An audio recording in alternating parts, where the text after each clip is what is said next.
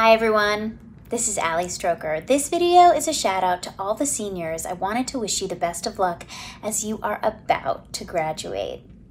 Now, I have heard so many amazing things about the Henry Viscardi School, and I know you are prepared to go out into the real world and pursue your dreams and be bold and creative and make positive impact. So, congratulations to the Henry Viscardi class of 2020. You did it. I hope to see you all soon.